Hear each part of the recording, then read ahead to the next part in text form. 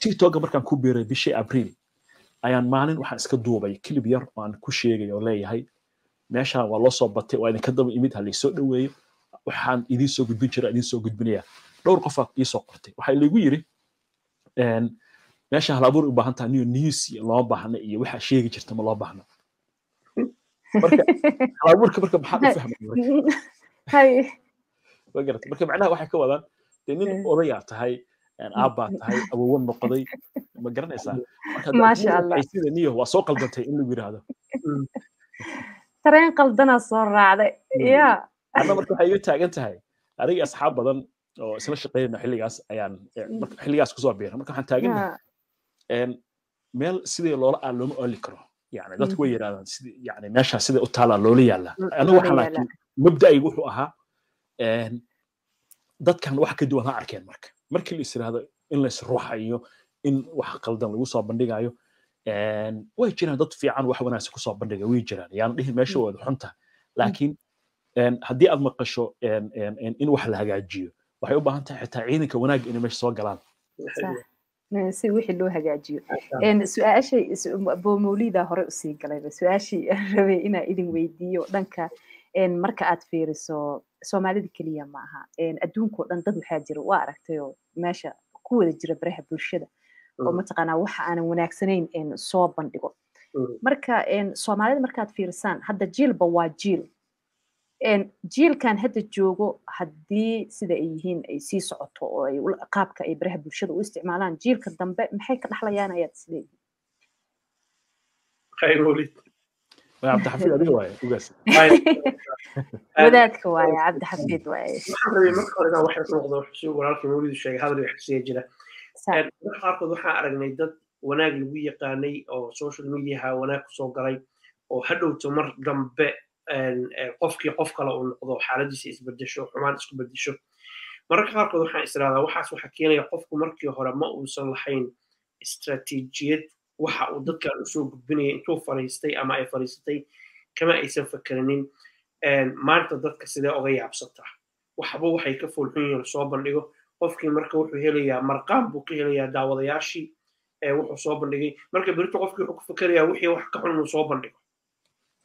Laakiin qofkaas noloshiisa saxda qofkaas ma ahan. Waa maaskaraadta qofkii uu xiran yahay uu ku qancinayo xumaan raadiyaha daawanaya marka qofku inuu marka hore fikirkiisa uu saliim ahaado uu waxyaalaha qayimka siduu walaalkii mawlid u sheegay dhaqankeena iyo diinteena ka hor imaanaya marka hore baad ka fogaatid muhiim weeye. Arrintan ku saabsan jiilka cusub maxay u gudbin kartaa? Anigu waxaan is leeyahay waxaan ku jirnaa xilli dhaqankeennii iyo caqiidadeennii iyo akhlaaqdeenniiba la tijaabinayo. Tsunami waxaa socda fidna ah. Dad fara badan oo soomaali ah oo dhalinyaro u badan saamayn ku yeelanaya. Wax saamaynta waxaan reebi karaan muuqaaladan la duubayan waxa ka mid ah gabadha yare nuulid uu qurxiyo waa isruuxaysaa buu yiri waxaan leeyahay saynta ruuxaysa meesha la yidhaahdo tiktoka. Berrita waad guursanaysaa carruur baad dhalaysaa aabbaha baa lagaa soo doonayaa waxaa arkaya dad aan waxaan inay arkaan aysan ahayn ama aadan ugu talagelinin marka muuqaalada ay duubayaan inay ka fiirsadaan jiilka soo socdana aysan u gudbinin xumaan. Laakiin dadka wanaagga iyo horumarka duubaya hadda gabar yar waxaa jirta tiktoka haysata hal aayadoo quraan ay akhridaa. Intay followers haysato ma malayn karaysid. Dadkoo dhan carabtaa soo qaadata muslimiinta kalaa soo qaadata xijaab bay qabtaa sida walaasheen oo kale halkan nuur baa ka baxaya.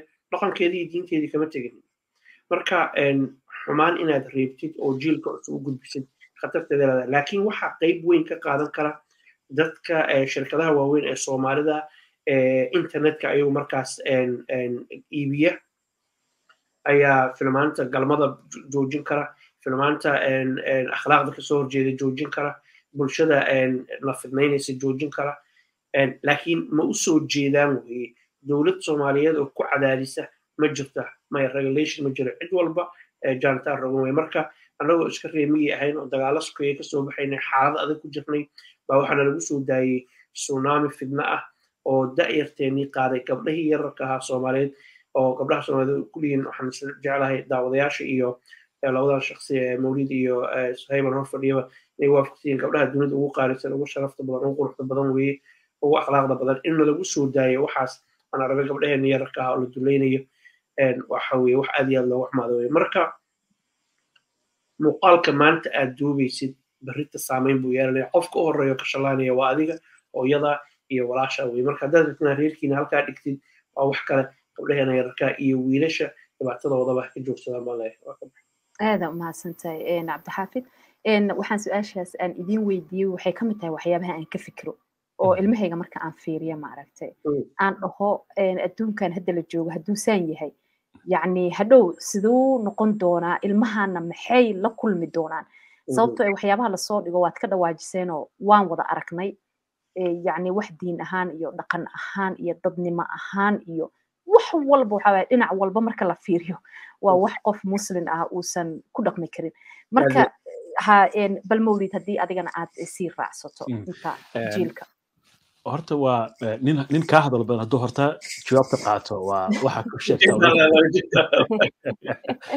cabdixafiid baa horta inta badan dul maray maasha allah adigana waa sii kabtay aniga waxaan is leeyahay abaayo. Iyo walaalkayba. Horta aniga qudheena xitaa waajibaad baa masaa runtii oo ah inaynu badino waxaan hadda anigu aan ka shaqaynayno oo kale oo ah hadda barnaamijyadaada oo kale oo wanaagga ah. Horta in la sii badiyo. Waa hubaa qofka soomaaliga oo laga yaabo inuu toban dollar internetkiisa bishii isticmaalayo. Inuu ku helo xog inuu ku helo adduunka waxa ka dhacay dalka uu joogo waxa ka dhacay wax aakhiradii adduunkana u fiican inuu ka helo. Maxaa sayniskii teknolojiyaddii annaga hadda news waxa laga inaa aadnay iyo waxyaalo kale. Waxaa jira intaasoo qaybood baa jirta. Oo adduunyada u gaara. Hadda discovery journal oo kale muxuu ka shaqeeya wuxuu ka shaqeynayaa waa waa cimiladii waa deegaankii waa teknolojiyadii buu ka sheekeynaya sayniska buu ka sheekeynaya marka dadka soomaalidana waa dad waxaas wada jecel. Maxaa diidaya marka beejish caynkaasoo kale qofka inuu xitaa laga fakari karo la samayn karo? Tan jiilka ku saabsan horta adduunka dhan baynu la qabnaa sidaad xusteen. Jabaan oo kale hadda waxaa qaatil laga taagan yahay ilmihii iyo waalidiinta in is arki waayeen. Oo yani ay addicti ku noqdeen maxaa la yidhahdaa aaladan social media. Ilaa shuruuc la soo saaray oo hadda shuruucaas rab in la dhaqan geliyo. Marka dhibaatadan marka way jirtaa dalalka carabta ka jirtaa waddamadan qurbahay ka jirtaa meel walbay ka jirtaa dhibku waa jira. Waxaan hadda dhibka ay la yimaadeen social media la yimid weeye waa hadda lagu canaananayo cid walba oo la leeyahay maxaad ka qabanaysaan dhibaatadan iyo waxaan. Ani marka waxaan is horta dabeyshaas weyn baa jirta. Dabeyshaas laakiin waxay u baahan tahay waxay u baahan tahay inaan laga aamusin oo hadday culimo tahay haddii shirkada ay yihiin haddii nidaamyo ay jiraan ay tahay dadka wanaagga dadka fari karo oo kale hadday yihiin inaan aan lays raacin oo laakiin lagu talagalo dabeysha iyadoo ku riixaysa inaad ka hor timaado waxaana ku dhiirigelinaya aniga waxa weeye qofka soomaaliga halkan hadda iga daawanaya beejijka abaay suhayba. Meesha aad ka fakeraysid inaad is sida cabdixaafid uu sheegay waxaa ka shalayn karta berri. Waxaa jira wax badan oo aad ku heli kartid maxaa la yidhaahdaa sumcadna ku heli kartid dhaqaalana ka samayn kartid noloshaadana kaafayn kara aakhiri adduunna aan dembi kuga ahayn inaad ka samayn karta meeshaan arrin kaloo waxaa jirta ku sii lamaansan halkaas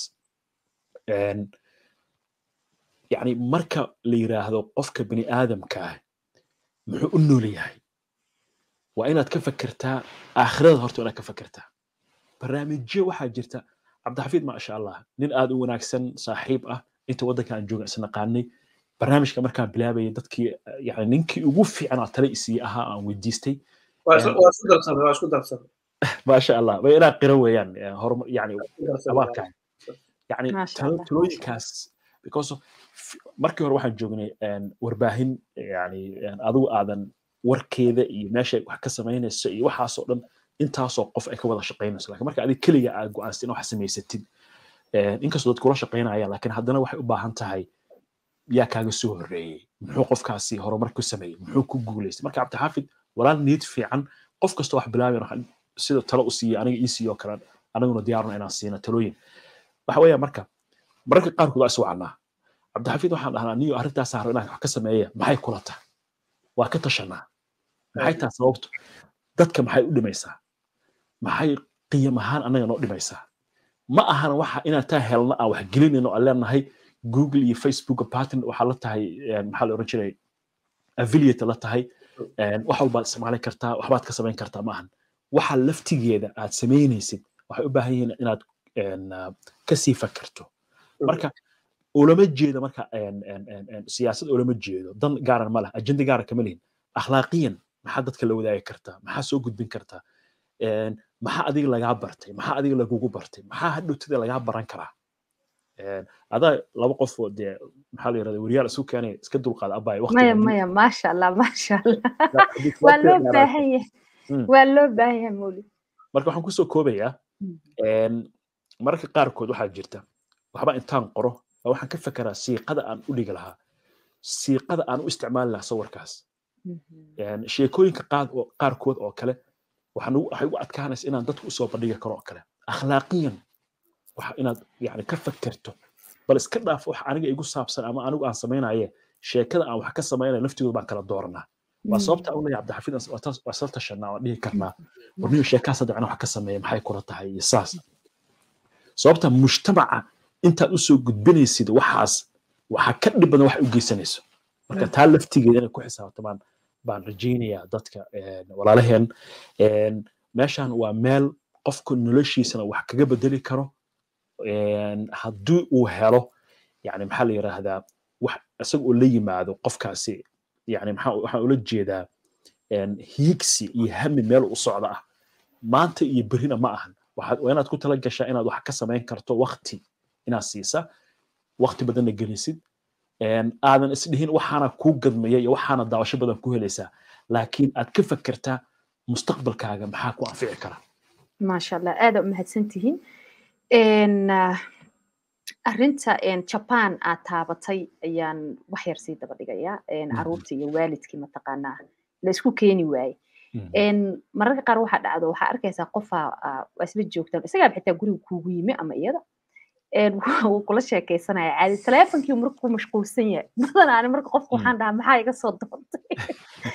Teleefonkii ku war teleefonkaa naga dhaafaya iska dhiga. Mar waxaa arkaysaa dadkii oo miiska cashada wada fadhiyo ama qofkii oo la hadlaysa iska qoslaaya markaas waxaa leedahay qofkaa mawaalan yahay. Wuu iska qoslaya marka yaab waaye maaragtay sida social media dadka u kala geeyo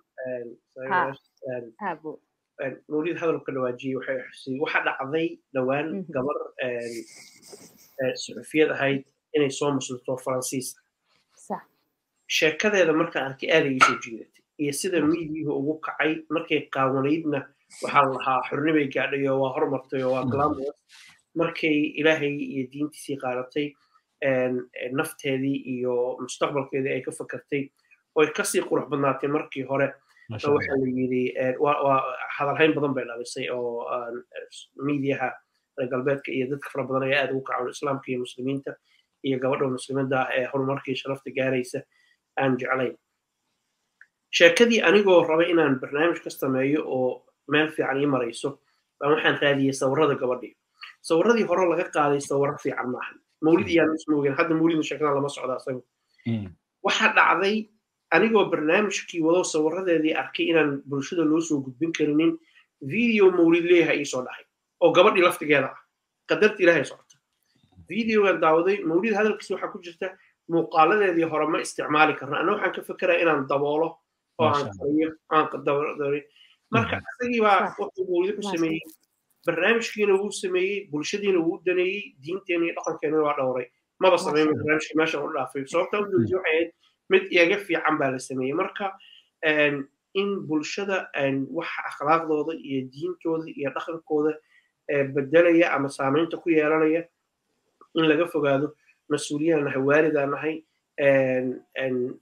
waa la dhimanaya maanta waa adduun berita waa akhir inaad ka fakertid waxaan saamaynta leeyihiin. Muhiim weye waxaan jeclaynaa oga baxo abshir faarax nuur bacadla gabyaagi weynaa soomaaliyed allah u raxmaday wuxuu yidhi war hoy dalabka quruxsada arsaaq waana loo qoray.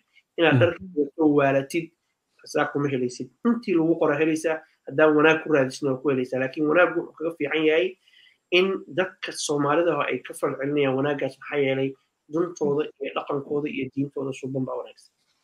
Maasha allah maasha allah waxaan rabaa inaan mid mid idin weydiiyo. Sheekooyinkii kugu xigiisa badnaa cabdixaafid oo inta aad chanalkaaga samaysay aad ka shaqaysay sababtoo mararka qaar waxaa ognahay marka aan shirkadihii waaweynaa la shaqaynaynay in xoogo waktiga iyo waxaas wax badan saamaxaad badan aysan jirin sheeka marka aad samaynaysa balse sheekada istir waa ku taagtaagsatay waana aad bad ugu faraxday waa sheekada cabdixaafid inta aad chanalkan asaastay ku soo jiidatay. Ha laakiin mid haddaan hadda ku soo koobo waxaa jirtay gabar soomaaliyeed oo ka soo qaxday dalkii hooyo yaman bay soo martay waxaa loo geystay kofsi waxaa loo geystay jirdil waxaa loo geystay dhibaatooyin aan la soo koobi karayn ilmo yar oo ay wadatay oo ay dhowr jir ahaa saddex iyo afar maqan waxay iigu sheegtay biyihiibuu kaga dhintay. Maskixiyan ma fadhido sheekadeeda ayay iga timi barnaamij la yidhahdo markhaatiga nool. Marka qofku asaga ka sheekeynaya wuxuu soo maray ujeedada ka lahayna waxay ahayd in aan walaalaha kale ee jidkaa ku soo jira waddada u istaagno dhahno dariiqaanu halis weeye go'aanka ayaa iskale oo ma jecli dadkana ku dhahaa tahriibinina. Maxaa yeelay xoogaa yaroo munaafiqnimaha halkaas ku jirto oo ah london baad fadhidaa nolol baad haysataa intiba loo diidan tahay war adugu halkaanimo way kaa garanayin markaas u fiirisa waa saxa. Nigoo kula doodan waxay ku leeyihiin goortan dhimanaya ilaahay baa qoray. Waad aduu ilaahay rumaysnay.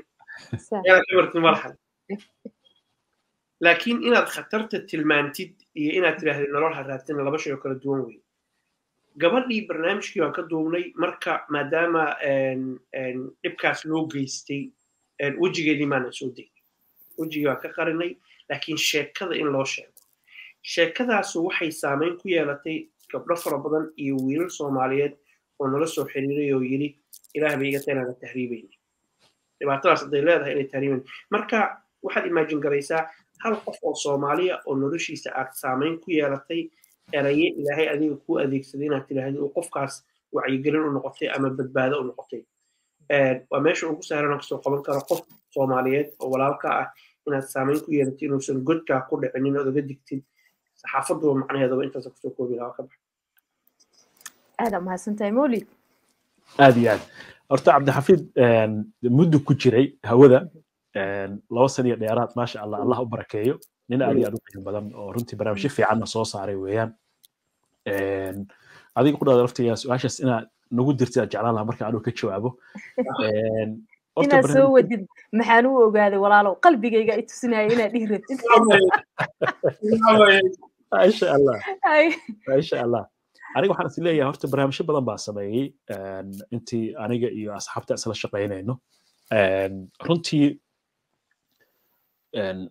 haddaan ku yara intaanan su'aasha toos u aadin meel waxaa ku jirtay cabdixafiid markaa su'aasha weydiinaysa aad tiri markaad meel kale ka shaqaynaysay ama hay'ad kale ka shaqaynaysay oo kale barnaamijyada waxaa laga yaaba in dad badan ka shaqeeyaan oo kale. Horta meelaha qaarkooda kale culays waa iska jiri karaan oo shaqada ku saabsan hadda anigu barnaamijkan ka shaqayn jirnay oo kale telefishinka b b c da oo kale dad runtii howlkaray ahaayeen aad iyo aad gabdhi iyo wiilal fiican maasha allah. Waxaa soddonkaas daqiiqa ilaa sagaal qof baan kaga shaqayn jirnay. Marka adiga markaad tirahda channel baan keligii furayaa. Inkastoo marka dambe dad kula yani kula wadayaan shaqadii saddex qof laba qof oo kale. Waa hawl adag runtii.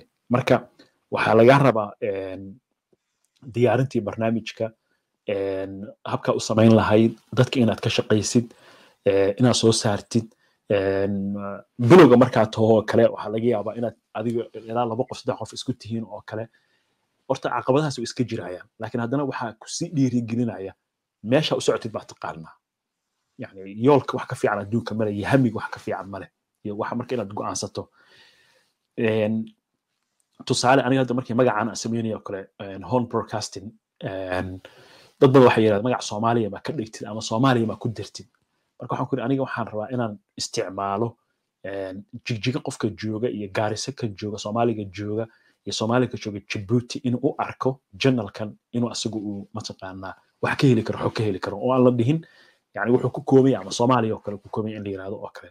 Laakiin qofka soomaaliya meeshuu jooga ilaa dad soomaaliyeed baa jooga realitygana iska indhatiri mayno.